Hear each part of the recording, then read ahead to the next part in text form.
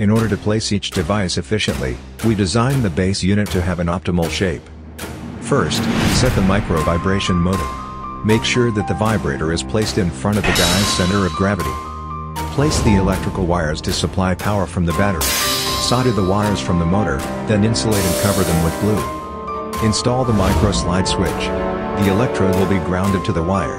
The width of the micro switch is 6.3 mm and the height is only 1.5 mm. Insert a 3 volts coin lithium battery. The device is designed for easy battery replacement. Turn on the slide switch to supply power to the motor and start vibrating. The 25mm square autonomous walking unit is now complete. By inserting the unit into guys, he will be able to move freely. We have named this supreme device that pushes the limits of science and technology. The Vibrating One.